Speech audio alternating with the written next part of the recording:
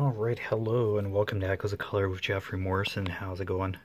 Alright, we're going to do another WIP and chat here with the Battle Ahead by Lothar Dietrich. 60 centimeters by 45 centimeters, 47 colors, square drill, paint with diamonds. Alright, how's it going? Hopefully uh, you're staying dry.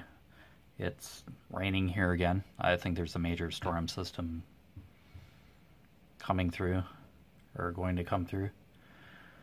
But yeah, ran a couple errands, turned the wipers on because it was seeming like it was starting to rain, and then it didn't. Now that I am home, it's raining. it's, it's, weird. All right, uh, Z or Z is our next little uh, symbol here.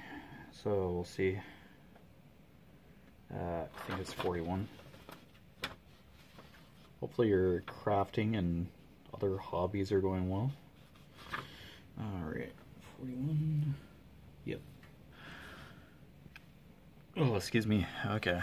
Uh, 35. 40, 41. 37.99? Yep. Okay, cool. This is just background basically, so yeah, been on this section for a bit. Only have the have the chance to sit down and diamond paint all too much, so easily distracted, I suppose. Recently, take it much. Okay.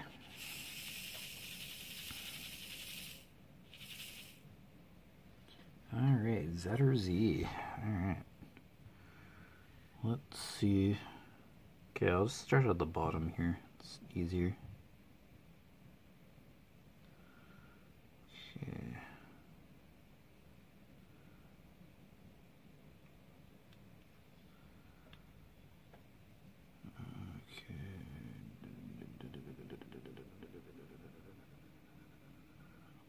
Okay, there. Okay, cool.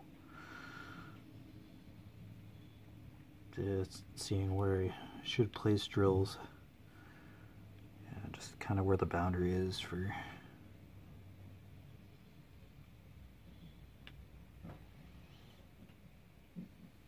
this section. Just want to diamond paint too far out of bounds here. Okay, cool. Yeah, should be a fairly brief uh, color here, but yeah, we'll see.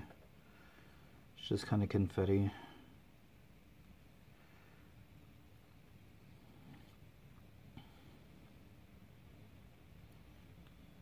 Yeah, so there's like this 24,000 piece jigsaw puzzle on Amazon. I saw an ad for it on Facebook or whatever. So, yeah, I just click on the 24,000 piece puzzle and then I look at the product description and uh, yeah for assembly required it says no. I'm like it's a puzzle though.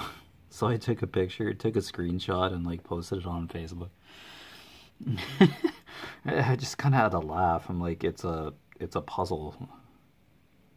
It's a hundred and something by like another it's gigantic of course. And it's like uh it's a puzzle. There should be assembly required. My dad's like, uh, so it comes together? it comes assembled? like, no, it shouldn't. oh my gosh, who would have space for that? Like, holy kittens. Like, we're talking jigsaw puzzle here. Holy, I've never seen a 24,000 piece puzzle. Wow, my word.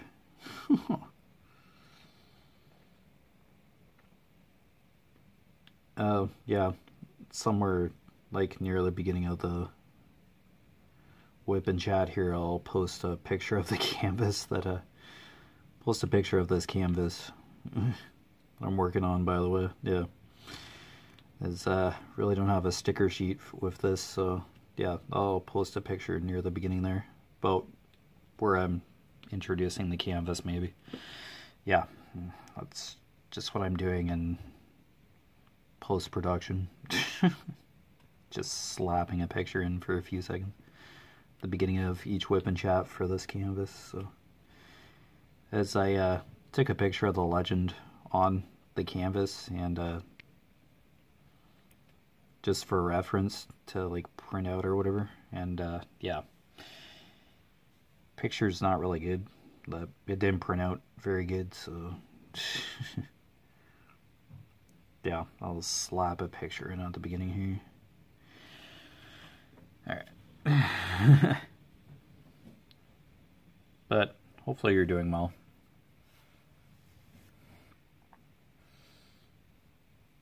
Yeah, it's just a overcast kind of day. Bleh.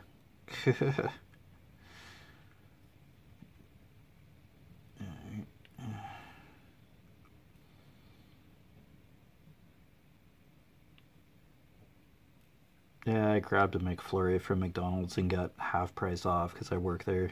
So that's kind of nice. yeah.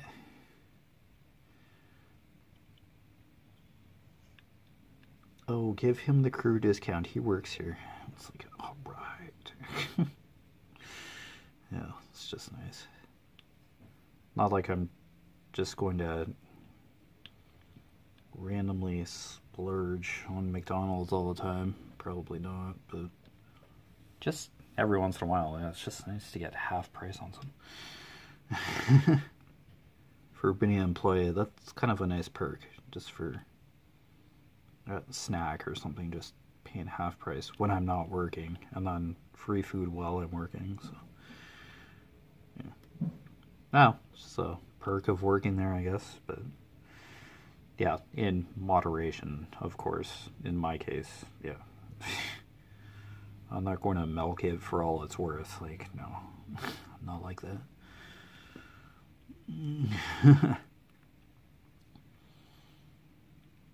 yeah, just don't be spending like $500 buying $500 worth of food, okay? It's like, that's my supervisor told me. Just orientation to yeah, I'm like, yeah, of course not. I'm not going to just buy a whole bunch of food that I'm not going to be able to eat. It's just ridiculous. Yeah, I usually just get like a coffee and like a had a coffee and a Big Mac for break the other day. Yeah. Yeah, just simple. Oh, excuse me. Yeah, I'm not gonna go extravagant. I don't want to be eating McDonald's all the time. It's only a half hour break too, so over five, five hours and more. It's just a half hour break at McDonald's. I'm fine with that for what you're doing.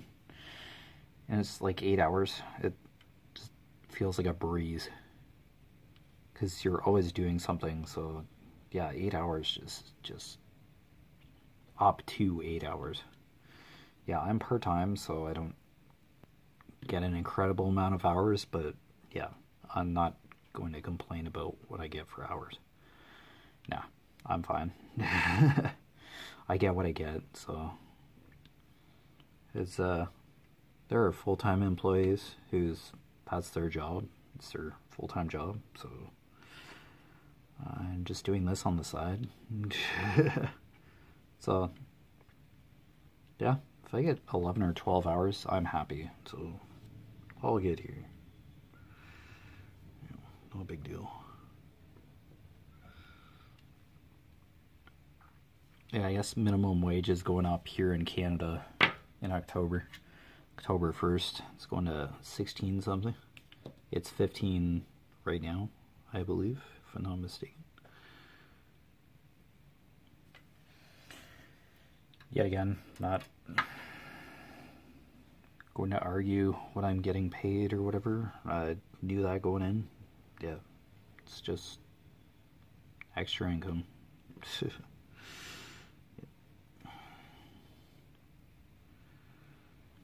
yeah, and you're probably like, why McDonald's? I worked at, at McDonald's 20 years ago when I was like a student.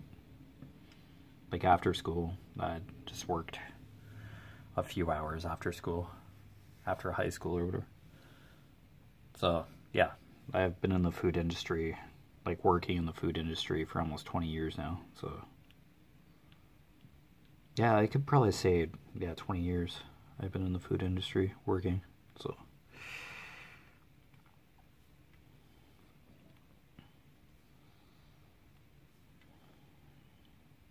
that's basically my background, so yeah, McDonald's just was a natural fit. I kind of missed it when I moved to St. Mary's here, so I was only there for a year, but had to move, so I had to quit my position at McDonald's. Yeah. Flash forward 20 years, and yeah, feels very similar. There are some differences, so oh, it's kind of nice. Yeah, you just pop and you just start working. It it's so nice. Yeah, love it. Totally different pace too. You're on your feet, but you're always doing something. Yeah. Constantly busy. I like the movement feel to it. It's probably what I missed.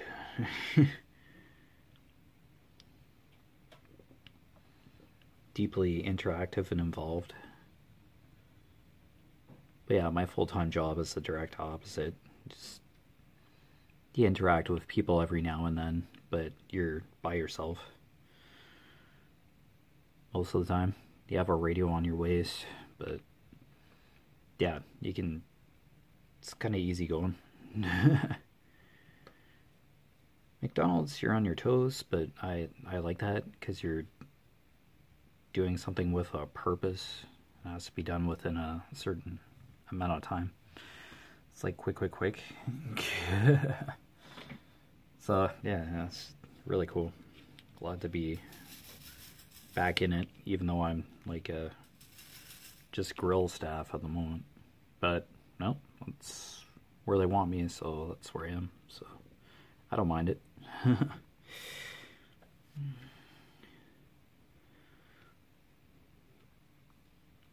yeah, you just get shown a couple things like how to operate stuff, and then you just dive right in. It's really cool.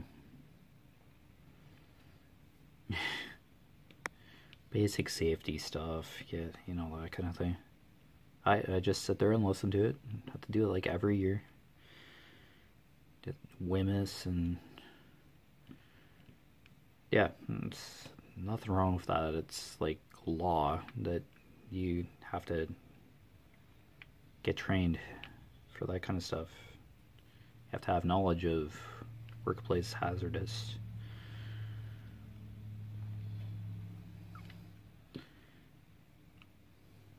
materials, information, statements or something. Heard it so many times, but then once I try to recall it, it's just gone. Information sheets or something? Yeah.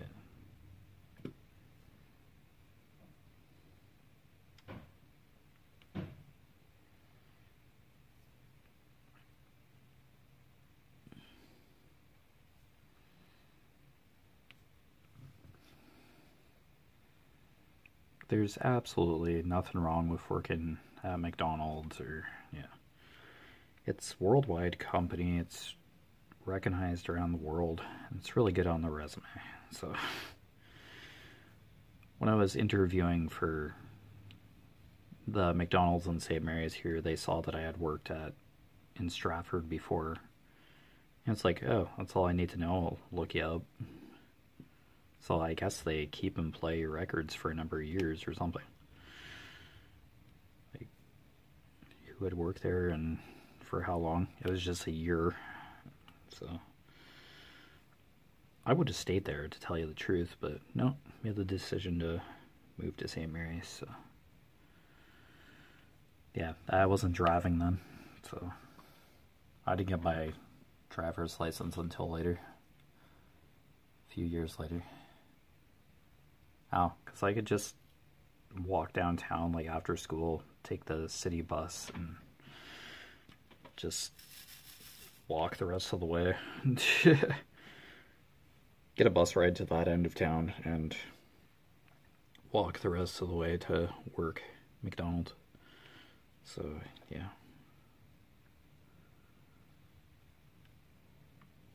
I don't know, it's a friendly atmosphere too, so I kind of like that. Not really talk to too many people, it's just friendly interaction. Like, yeah, people are approachable. So, even though most of them are like students, I'm probably like one of the older people there. It's usually a young workforce in McDonald's, generally, for the most part. But yeah, uh, just friendly and civil. Uh, don't try to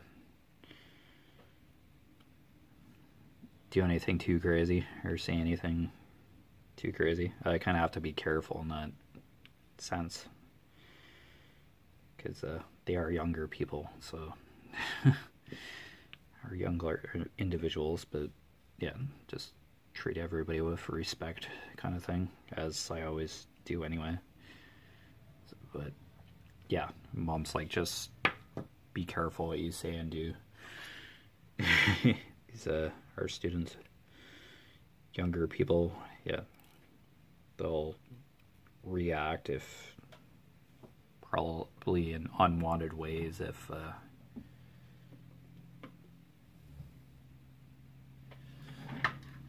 you say or do something that's uh, they don't like. oh, I knew that as well going in.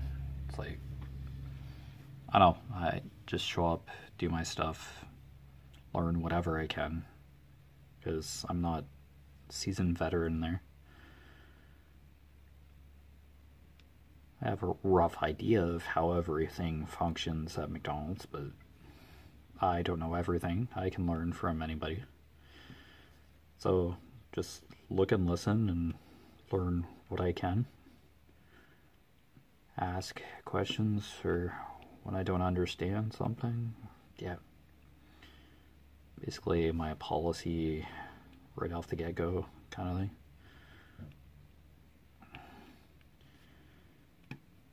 Hopefully, I get a name tag and a baseball cap or something to wear. Uh, part of the uniform. So, I yeah, just want all the components of my uniform. I just have one work uniform, but after my shift, I just after I get home, I just wash it, hang it up, and it's ready.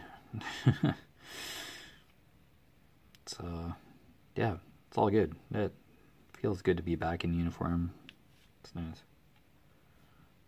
Not too bad looking either. Pretty sophisticated kind of workwear. It's comfortable. I wear an undershirt for my under my shirt as I do at PCI. So I've always worn an undershirt, just wearing the uniform shirt. That just ah, it, it's weird. Because I usually leave a couple uh, buttons undone at the top, just so I'm not like choking on the collar. Yeah, so having the undershirt, yeah, just makes it less suggestive, showing less chest. yeah, just like the layered look too. So, but yeah.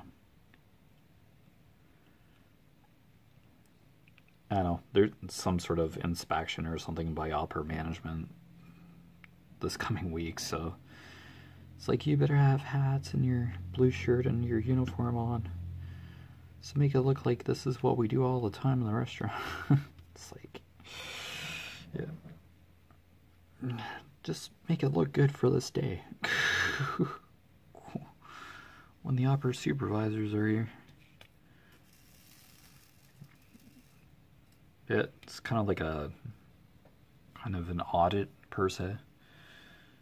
But yeah, it's probably like a franchise thing. So just to see that stuff's being done as it has set standard compared to other McDonald's as well as other McDonald's. Yeah, it's a franchise thing. So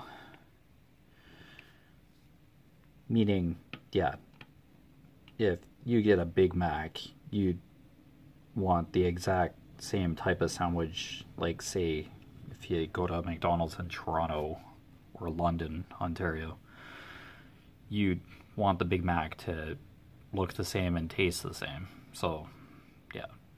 When you walk into a McDonald's or a franchise restaurant or Tim Hortons, you'd want, yeah, the coffee to taste like you've always tasted it, like you've always had it, and the Big Mac to taste, ugh, the way you've always had it. Yeah. Kind of what they're doing and just like health and safety kind of standards. Yeah, it's just like a quick check over, like a just kind of observing like how the restaurant's doing that kind of thing. They probably do it all over the place. But I think it's like the same owner for like a couple of rest a couple of the McDonald's in this area. Like Stratford, I think there's same owner for the ones in Stratford or something, Stratford, Ontario. Yeah, just that kind of thing.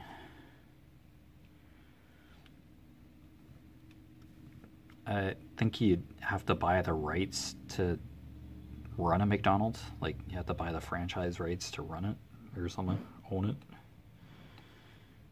from the restaurant chain. I think that's how that works, franchising. Yeah.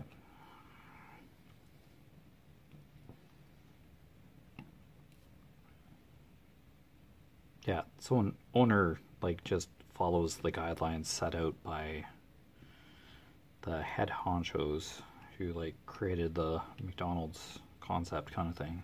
Yeah. When you're an owner, you just like make sure it runs the way it's intended to, that kind of thing. So that's all that's about. I'd rather have a uniform on. Like, yeah, you're if you're working for a place like that, even like Tim Hortons, like you're the face of that place. So if you're like acting like a total idiot, it's gonna make the company look bad and just you're like a first impression.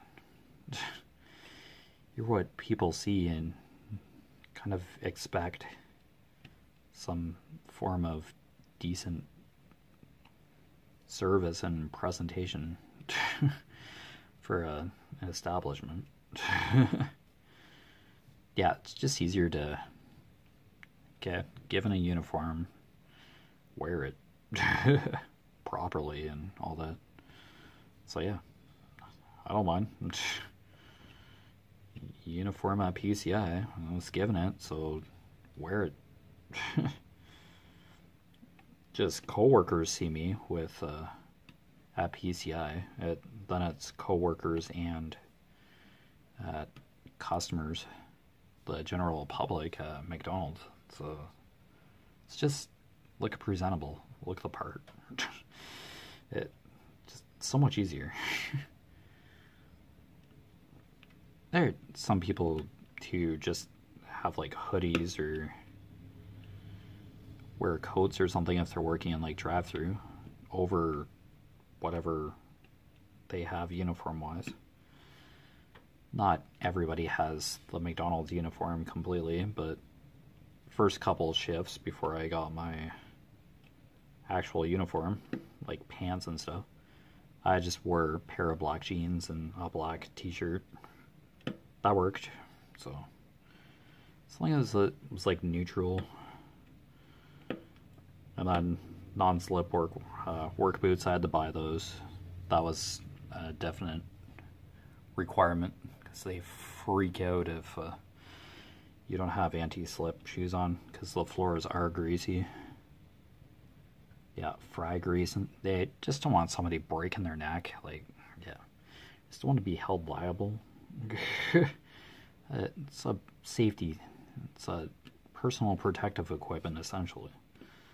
So yeah, that, familiar with that. I wear steel toe shoes at the factory, so steel toe boots at the factory, and they stay there. So,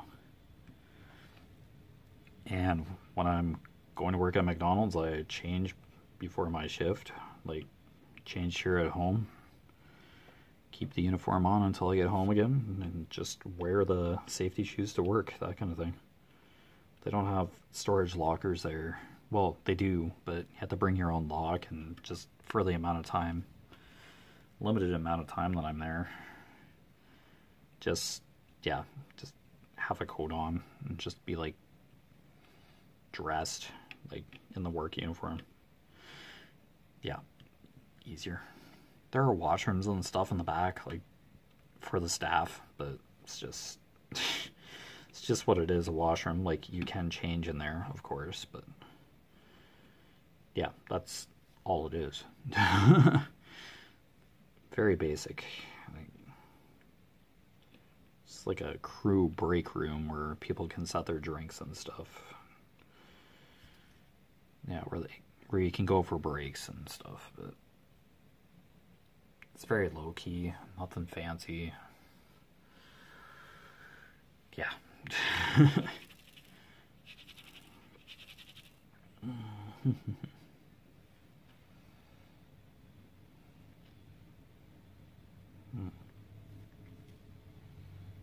Uh, people like freaking out about uh, Tears of the Kingdom, the Legend of Zelda that, that is. They're freaking out thinking that it's a, a direct copy of Breath of the Wild. It's Nintendo Switch title. Yeah, people are like whining about it. oh, this just looks like Breath of the Wild. Looks like DLC, downloadable content. It's the follow up to Breath of the Wild, and Link can do a lot more. There's like sky stuff now. There's like sky islands. And uh, he has to use different abilities to be able to get to those places. Yeah, I watched the gameplay trailer from like the producer of the Zelda series. Had to be translated, like it was like a voiceover kind of translation. But he introduced the game like a demo, showed a couple new concepts, Link's kind of power ups, and Link's new powers or abilities. Yeah, we'll see abilities. Yeah, it's like ancient technology. I think that uh, Sheikah tablet is gone, as far as I know. I think it's still that Sheikah technology, but something happens to Link's arm. It's malice or something. I haven't even played through Breath of the Wild fully to tell you the truth, so. But, yeah, Link's abilities evolve he can do a lot more. Kind of makes it easier to travel the world in a sense. Like, just people complained about certain elements of travel or whatever in the game. So, Tears of the Kingdom kind of expands on the open world concept, which was introduced in the Breath of the Wild. And yeah, they just kind of put a little bit more juice into it. So, yeah, it looks really cool. I love Link. I love Legend of Zelda, but I'm just not totally ecstatic about it. like, I've played Ocarina of Time for a bit, then got confused as where to go after a while. I haven't played through a Zelda game fully This is where I'm trying to go here. But anyway, you've been watching Echoes Color with Jefferey Morrison. Down below in the description, I put my Facebook profile name, my Echoes Color Facebook business page. It's really just a website within Facebook that I created that you can create. And my Instagram, all three, yeah, I just kind of share section completion kind of progress photos, that kind of thing. Any updates about Echoes of Color here? Yeah. Don't post very much, very often. Yeah. So yeah, just that kind of stuff. And I post walking challenge websites, uh, just the main websites, Conqueror and Pacer. I just mentioned reading on the treadmill every once in a while. Like I'm reading Game of Thrones right now, for example. Read on the treadmill to get kilometers or steps, and I guess a certain amount of kilometers per day.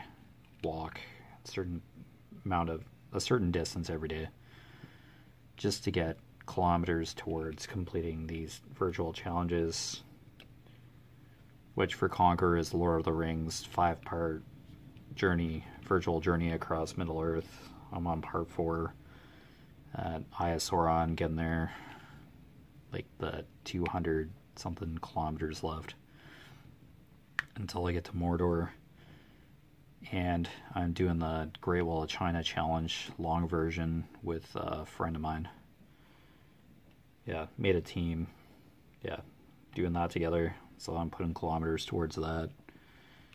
Uh, Pacer's the same thing. Just walk, it automatically pulls my distance. And that's trading route in China, Silk Road. So yeah, now I'm doing this uh, Canadian Cancer Society 80 kilometer challenge. And so I'll just walk it, post my distance. I'm almost done this across Canada challenge, 200 something kilometers left there. But yeah. This I do on the side. Not, I'm not partnered or sponsored in any part by Conqueror or Pacer or anybody. So, just information for the main website pages. But anyway, take care with your crafting endeavors slash hobbies. Thank you for the support and watching if you're just hanging out. And I'll see you next time. Bye.